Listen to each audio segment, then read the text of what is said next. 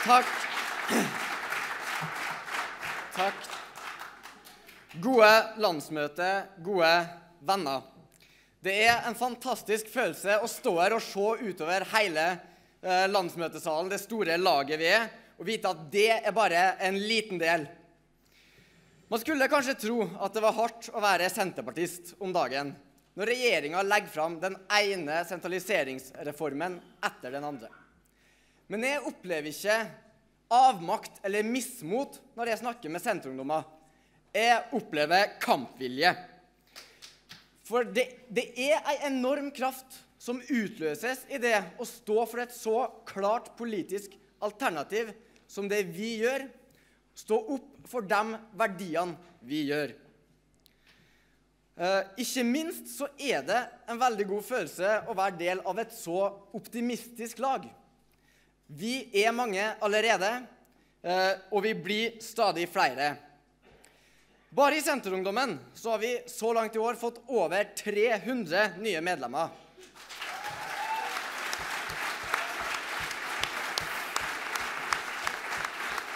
Faktisk Faktisk så nærmer vi oss nå de høyeste medlemstallene vi har hatt siden EU-kampen.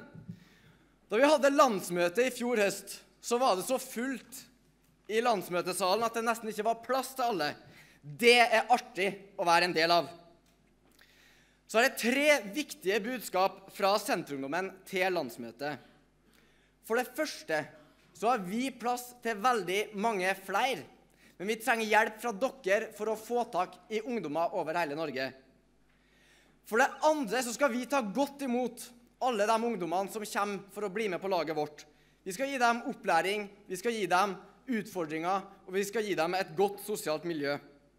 Og ikke minst så skal vi sammen med dere eh, gjøre et brakvalg til høsten.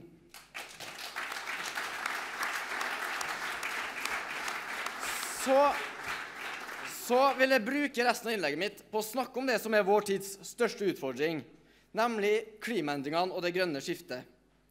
For meg så var nettopp klimapolitikken en av de viktigste grunnene til at jeg meldte meg inn i Senterpartiet. Jeg er senterpartist fordi jeg mener at Senterpartiet er det partiet som har den klareste løsninga på de utfordringene vi står overfor. Jeg er glad for at Marit Arnstad brukte tid på klima eh, i sitt innlegg. Og som hun så er jeg også optimist. Og jeg er optimist fordi jeg gleder meg til å leve i det fornybare samfunnet vi skal skape i lag. Det utløser skaperkraft og blir stilt overfor store utfordringer. Og det finnes så mange spennende muligheter som jeg bare brenner etter at vi skal ta i bruk. Enten det gjelder solcelledrevne på, gatelys på Tynset, eller en gammel fiskebåt som har blitt bølgekraftverk utenfor Stad, eller biodrivstoff på Tofte. Og så er jeg optimist fordi den artigste bilen jeg noen gang har kjørt, er en elbil. Fordi flere og flere ser at klimaendringene det er ikke bare et problem, det er også en mulighet. Det er trangt nåløye å vinne fram som klimaparti i Norge i dag.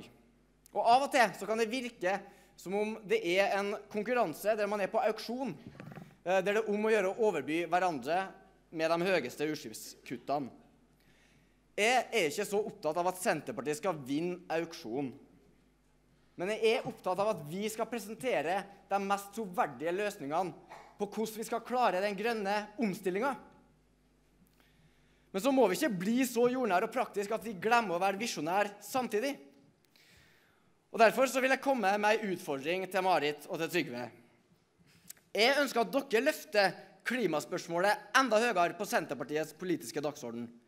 At dere blir enda flinkere til å kommunisere ut våre løsninger og våre visjoner for lavutslippssamfunnet. For å hjelpe til med dette så har vi i Senterungdommen fremma to resolusjoner til landsmøtet som handler om nettopp klima. Vi skal gire opp omstillinga til bioøkonomien. Vi skal ha verdens mest klimavennlige industri. Og vi skal satse massivt på ny fornybar energi så skal vi bruke oljefondet til å skape det grønne skiftet. Vi i Senterpartiet skal gjøre jobben med å skape det fornybare Norge. Vi skal ikke gjøre det bare fordi vi må, men også fordi vi har lyst. Vi vet at det finnes bare én måte å gjøre den jobben på, nemlig skikkelig. Takk for meg.